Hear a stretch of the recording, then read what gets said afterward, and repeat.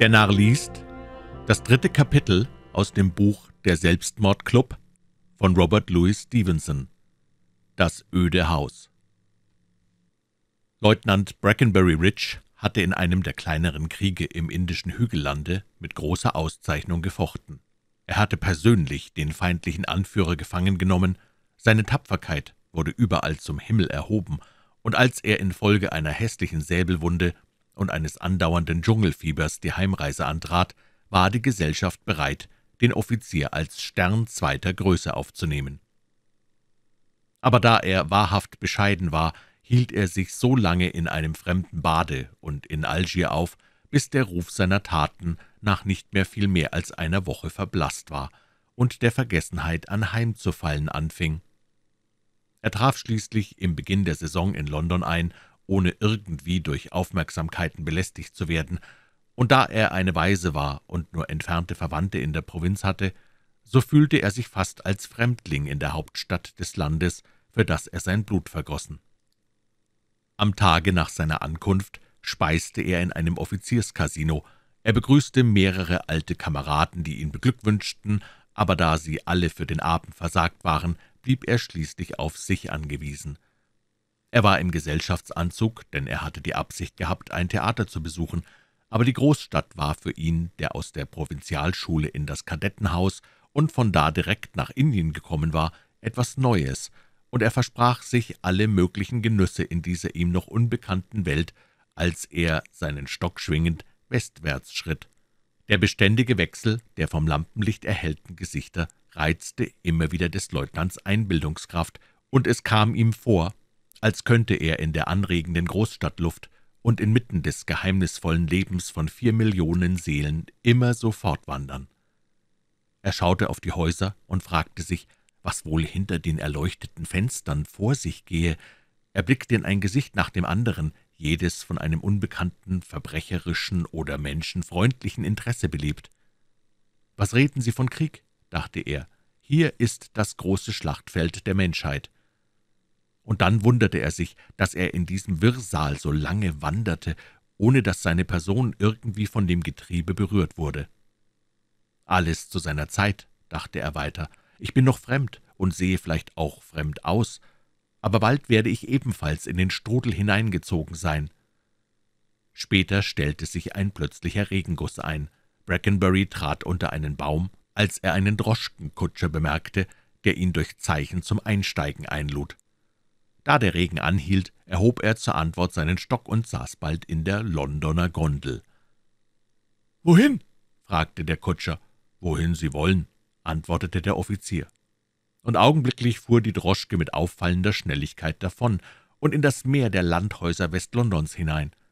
Eine Villa glich der anderen, und jede war mit einem Vorgarten versehen, und die menschenleeren Straßen, durch die der Wagen dahinflog, boten so wenig Bemerkenswertes, dass Brackenbury bald alle Orientierungsversuche aufgab. Er hätte denken können, dass der Kutscher ihn zum Spaß immer wieder durch dieselbe Straße fahre, aber die geschäftsmäßige Eile deutete auf ein bestimmtes Ziel, über das sich der Gast allen möglichen Gedanken hingab. Er hatte von Fremden gehört, die in London in Mörderhände geraten waren. War auch ihm ein solches Los zugedacht? Aus diesen Gedanken riss ihn das plötzliche Halten des Wagens vor dem Gartentor einer hell erleuchteten Villa in einer langen und breiten Straße. Soeben war eine andere Droschke wieder fortgefahren, und Brackenbury konnte noch sehen, wie ein Herr an der Eingangstür des Hauses von mehreren Dienern in Livree empfangen wurde. Es wunderte ihn, dass der Kutscher gerade vor einem Hause hielt, in dem offenbar eine Gesellschaft stattfand, doch hielt er dies für bloße Sache des Zufalls. Er blieb ruhig sitzen, bis der Kutscher rief, »Hier sind wir!« »Hier«, wiederholte Brackenbury. »Wo?« »Sie sagten, ich sollte Sie fahren, wohin ich wollte, und hier sind wir nun.« Brackenbury fiel die für einen Droschkenkutscher ungewöhnlich gewählte Sprechweise auf. Auch der Wagen war, wie er nun bemerkte, viel prächtiger als die gewöhnlichen Droschken. »Was bedeutet das?« sagte er. Wollen Sie mich im Regen absetzen? Ich denke, mein guter Mann, das kommt auf mich an.« »Sicher kommt es auf Sie an«, versetzte der Kutscher. »Aber wenn ich den Sachverhalt auseinandersetze, wird ein Herr wie Sie wohl anders entscheiden. Der Besitzer eines Hauses dort gibt Gesellschaft. Ich weiß nicht, ob der Herr in London fremd oder ein Einheimischer ist. Jedenfalls habe ich den Auftrag, einzelne anständig gekleidete Herren aufzugreifen, insonderheit Offiziere. Sie brauchen nur hineinzugehen und zu sagen, Herr Morris habe Sie eingeladen.« »Sind Sie Herr Morris?« fragte der Leutnant. »Oh nein, Herr Morris ist der Hausherr.« »Das ist eine ungewöhnliche Art, Gäste zusammenzubringen«, sagte Brackbury. »Wenn ich nun die Einladung zurückweise, was dann?« »Dann habe ich Anweisung, Sie an die Stelle zurückzubringen, wo ich Sie fand, und bis Mitternacht nach anderen Gästen auszuschauen.« Diese Worte brachten den Leutnant sofort zum Entschluss. Wenigstens, dachte er, habe ich nicht lange auf ein Abenteuer zu warten brauchen. Kaum war er ausgestiegen, so fuhr der Kutscher trotz des Leutnants Rufen ohne Fahrgeld in derselben Eile davon.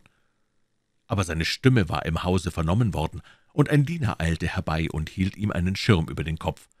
»Der Kutscher ist bezahlt«, bemerkte der Diener im höflichsten Tone und geleitete Brackenbury in das Haus, wo ihm andere Diener Hut, Stock und Überrock abnahmen und ihn eine mit tropischen Pflanzen geschmückte Treppe hinaufführten, wo ihn der Kammerdiener nach seinem Namen fragte und mit lauter Stimme »Leutnant Brackenbury Witch« rufend in das Empfangszimmer geleitete. Ein schlanker und auffallend schöner junger Mann trat ihm entgegen und grüßte ihn höflich und freundlich. Hunderte von feinsten Wachskerzen erleuchteten den Raum, der wie die Treppe mit einer Fülle seltener und schöner Blumen geschmückt war. An der Seite stand ein mit lockenden Speisen beladener Tisch. Verschiedene Diener gingen mit Früchten und Wein ab und zu. Es waren etwa sechzehn Personen, meist in der Blüte der Jugend und fast ohne Ausnahme von kühnem, vielversprechendem Gesichtsausdruck anwesend. Sie bildeten zwei Gruppen, von denen eine Roulette und die andere Baccarat spielte.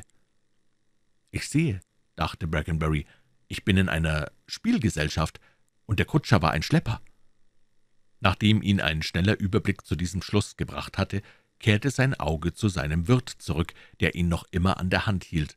Das Bild des eleganten, liebenswürdigen Mannes, dessen Gesicht eine mutige Seele widerspiegelte, passte so gar nicht zu dem Besitzer einer Spielhölle, und auch seine Redeweise schien auf etwas ganz anderes hinzudeuten.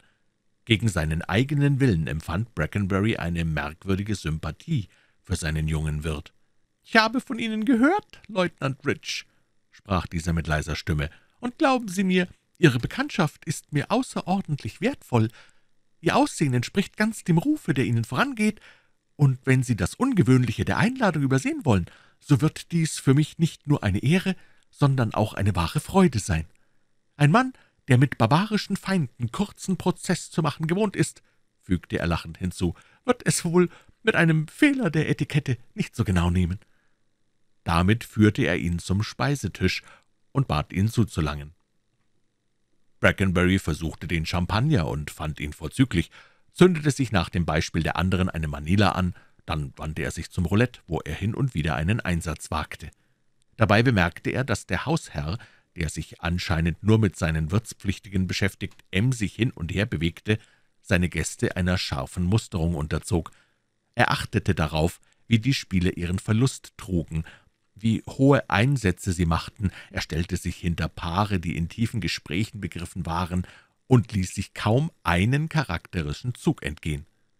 Brackenbury nahm dies mit größtem Erstaunen wahr und fand auch bei schärferer Betrachtung seines ihn immer mehr interessierenden Wirtes, dass dieser trotz seines immer breiteren, freundlichen Lächelns wie hinter einer Maske einen kummervollen, traurigen Ausdruck trug. »Dieser Morris«, dachte er, »verfolgt irgendeinen tiefer liegenden Zweck, den ich ergründen will.« von Zeit zu Zeit rief Herr Morris einen der Besucher beiseite, nahm ihn mit sich in ein Vorzimmer und kehrte allein zurück, während sich der Gast nicht mehr sehen ließ. Um zunächst hinter dieses Geheimnis zu kommen, stahl sich der Leutnant unbemerkt in das Vorzimmer und verbarg sich dort in einer tiefen, von grünen Vorhängen verhüllten Fensternische. Er brauchte nicht lange zu warten, bis er Herrn Morris mit einem Gaste hereinkommen sah, der ihm schon vorher durch sein etwas rohes Benehmen aufgefallen war. Das Paar blieb dicht vor dem Fenster stehen, so dass Brackenbury kein Wort von der folgenden Unterhaltung entging. »Ich bitte tausendmal um Vergebung«, begann Herr Morris, »wenn ich eine Frage an Sie richte, denn ich kann mich nicht besinnen, Sie früher schon gesehen zu haben, und ich fürchte, es liegt hier irgendein Missverständnis vor, zu dessen Lösung es zwischen Männern von Anstand und Ehre nur eines Wortes bedarf. In wessen Hause glauben Sie zu sein?« »In Herrn Morris«, erwiderte der andere, der die Anrede mit steigender Verwirrung angehört hatte.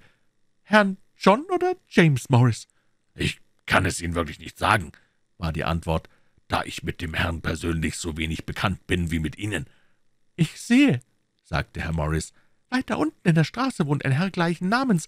Ich bin glücklich, infolge der Verwechslung Ihre Bekanntschaft gemacht zu haben, doch könnte ich es nicht verantworten, Sie länger von Ihren Freunden zu trennen. John«, fügte er mit lauter Stimme zu dem sich nähernden Diener gewendet hinzu, »seien Sie dem Herrn behilflich.« Und damit geleitete er den Gast auf das Höflichste zur Tür hinaus. Als er wieder bei dem Fenster vorüber zum Empfangszimmer ging, hörte ihn Brackenbury wie unter dem Druck einer schweren Last tief seufzen. Noch eine Stunde lang brachten die Droschken so viele neue Gäste, dass die Zahl der Besucher sich trotz der Privatgespräche Herrn Morris etwa auf gleicher Höhe hielt, aber dann wurden die Neuankömmlinge seltener, bis sie endlich ganz ausblieben, während das Aussieben mit unverminderter Schnelligkeit vor sich ging. Das Empfangszimmer fing an, leer auszusehen, das Baccarat musste aufgegeben werden, weil es an einem Bankhalter fehlte, mehr als ein Gast empfahl sich aus eigenem Antrieb.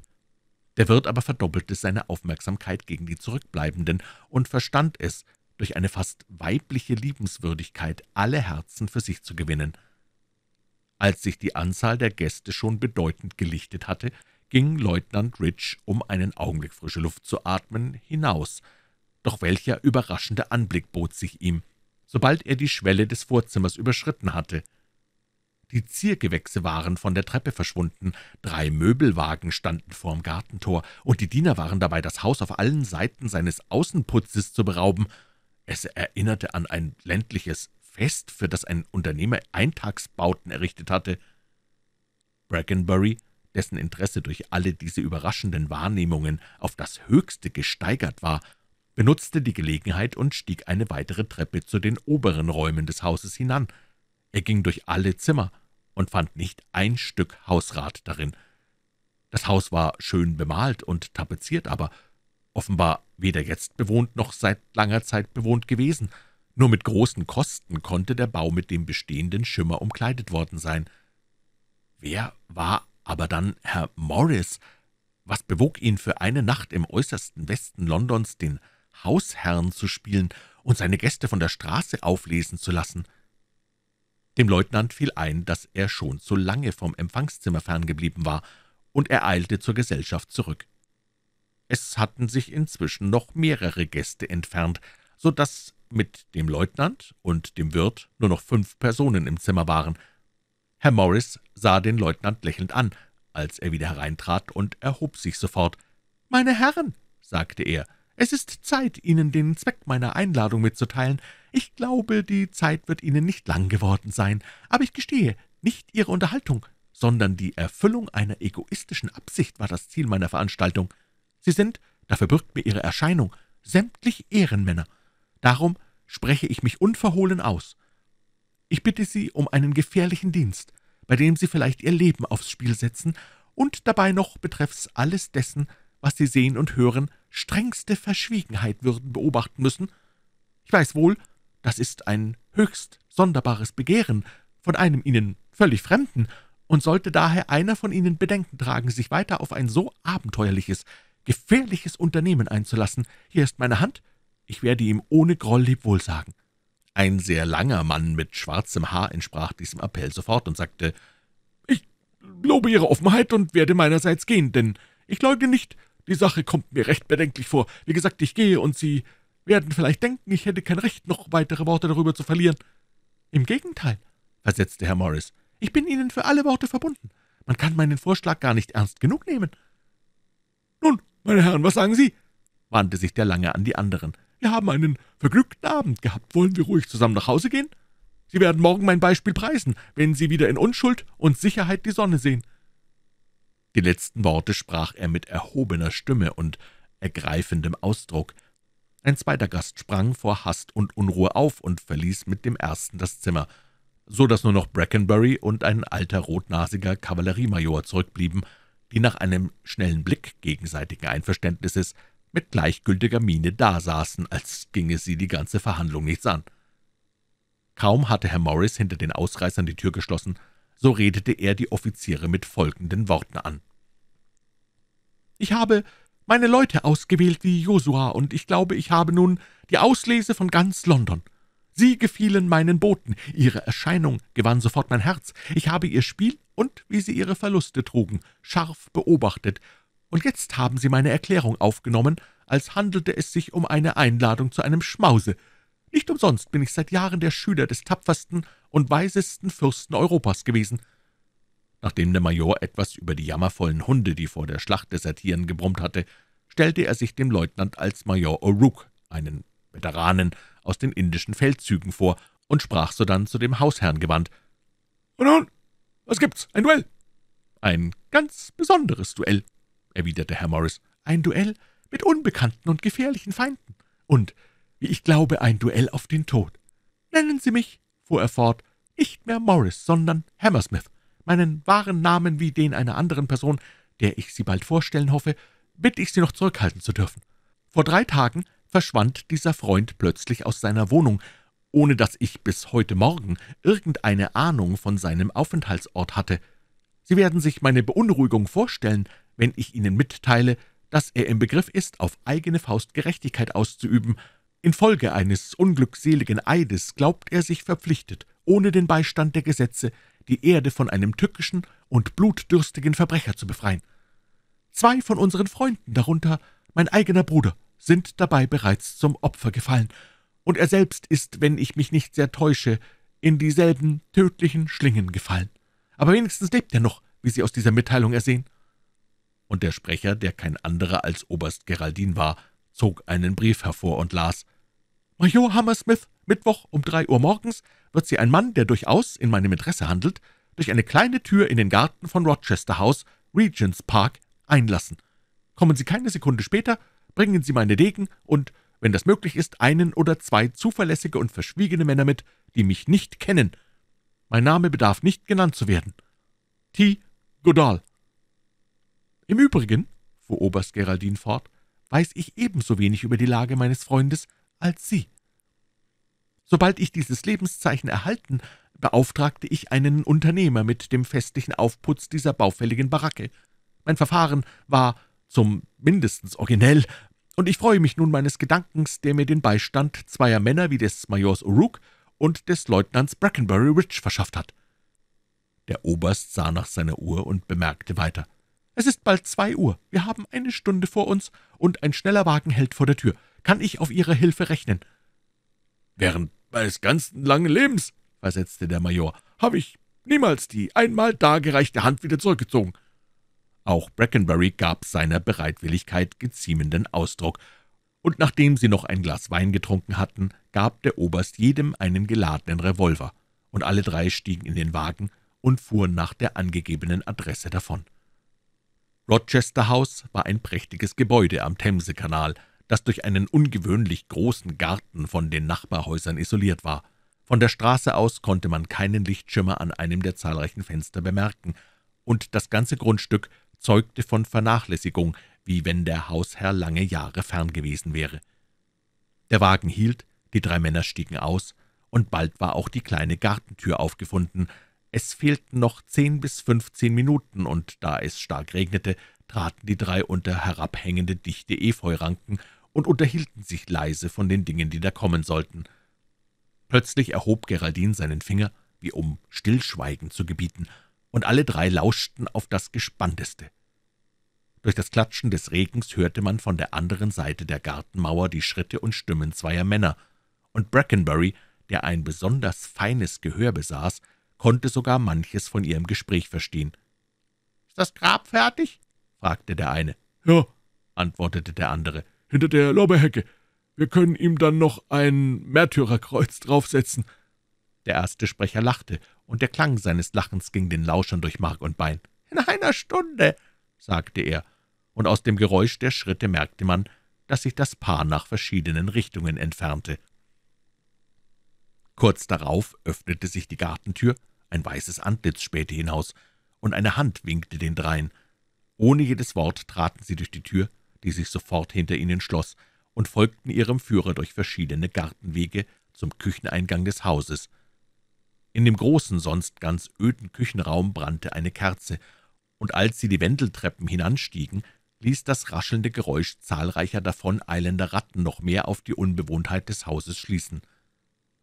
Der Voranschreitende war ein magerer, sehr gebückter, aber noch lebhafter Mann, der sich von Zeit zu Zeit umwandte und durch seine Handbewegung zum Schweigen oder zur Vorsicht mahnte.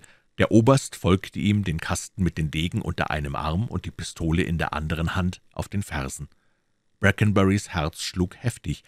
Er merkte, dass sie noch zur rechten Zeit gekommen, schloss aber aus der behenden Eile des Alten, dass die entscheidende Stunde nahe war. Oben angekommen, öffnete der Führer eine Tür und ließ die drei Offiziere in ein von einer rauchigen Lampe und der Glut eines kleinen Kaminfeuers erhelltes Zimmer vorangehen. Am Kamin saß ein Mann in der Blüte des Lebens, von untersetzter, aber imponierender Gestalt. Seine Haltung und Miene drückten völlige Seelenruhe aus, und er schien seine Havanna mit großem Genuss zu rauchen. »Willkommen!« rief er und streckte Oberst Geraldin seine Hand hin. »Ich wusste, dass ich mich auf Ihre Pünktlichkeit verlassen könnte.« »Auf meine Ergebenheit«, sagte der Oberst sich verneigend. »Stellen Sie mich Ihren Freunden vor«, fuhr der Erste fort, und nachdem dies geschehen, fügte er mit ausgesuchter Leutseligkeit hinzu. »Ich wünschte, meine Herren, ich könnte Ihnen ein angenehmeres Programm vorschlagen und müsste nicht unsere Bekanntschaft in so ernster Weise einleiten. Aber die Verhältnisse sind diesmal stärker als die Gebote der Höflichkeit. Ich hoffe fest, Sie verzeihen mir diesen unangenehmen Abend. Männer Ihrer Art wird das Bewusstsein genügen, mir eine große Gefälligkeit erwiesen zu haben. Eure Hoheit, sagte der Major, muss meine Plumpheit verzeihen, ich kann mich nicht verstellen. Schon der Major Hammersmith machte mich stutzig, aber Herr Godall lässt keinen Zweifel übrig. Es ist zu viel vom Zufall verlangt, wenn man zwei Männer in London sucht, die den Prinzen Florisel von Böhmen nicht kennen. »Prinz Florisel?« rief Brackenbury erstaunt, und er schaute mit größtem Interesse in die Züge der vielgepriesenen Persönlichkeit. »Ich will den Verlust meines Inkognitos nicht beklagen«, sagte der Prinz, »denn ich kann Ihnen umso besser danken.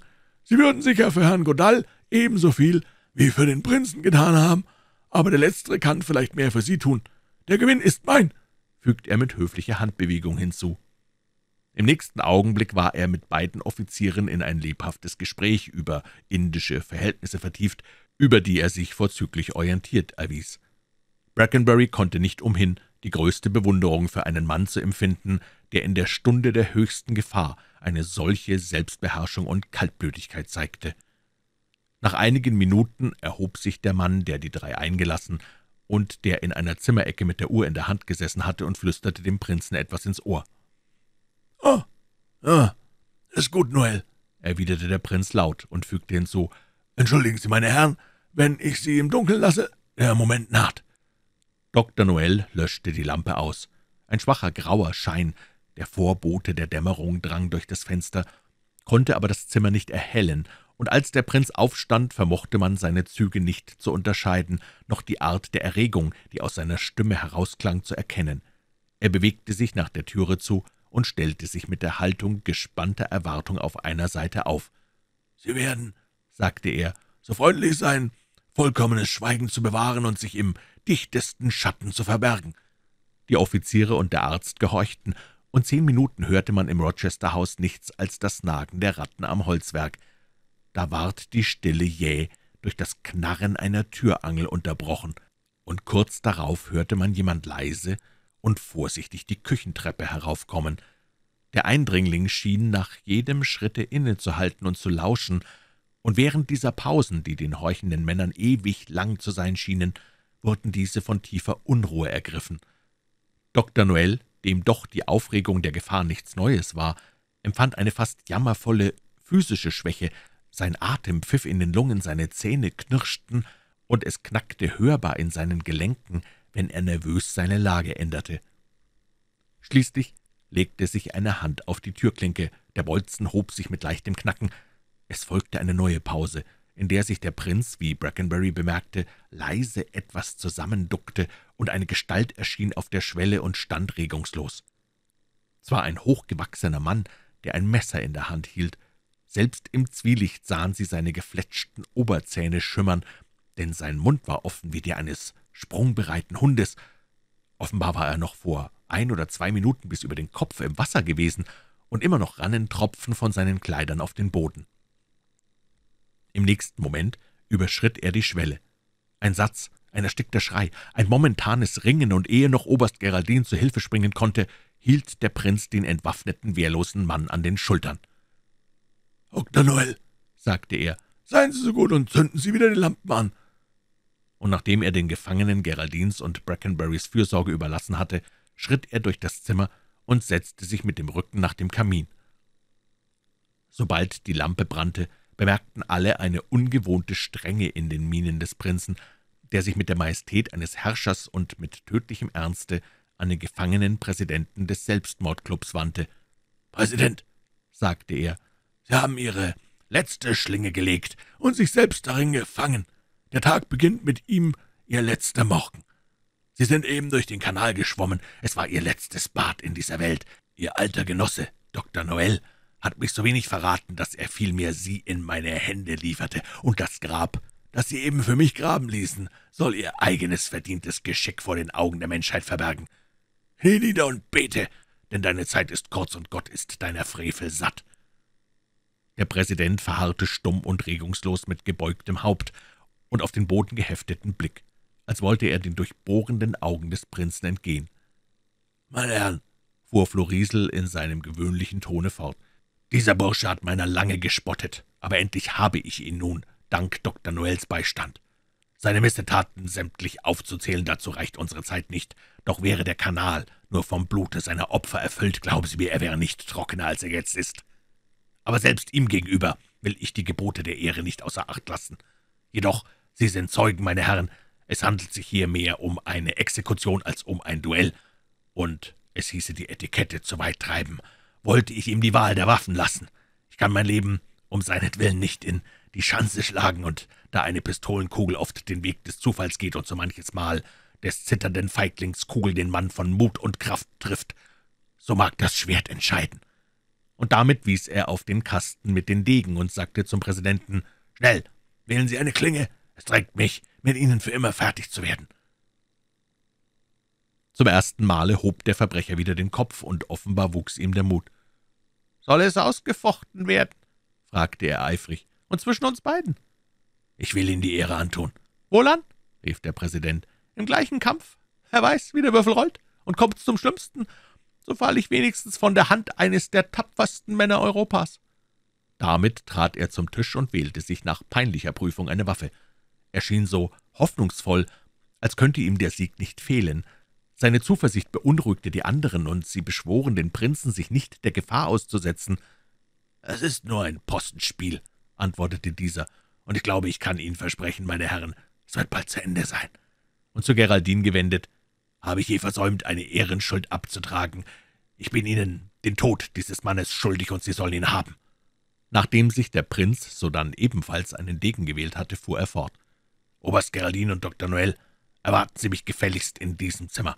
Ich wünsche keinen persönlichen Freund hierbei beteiligt. Major O'Rourke, wollen Sie sich des Präsidenten annehmen? Leutnant Bridge wird so gut sein, mir beizustehen.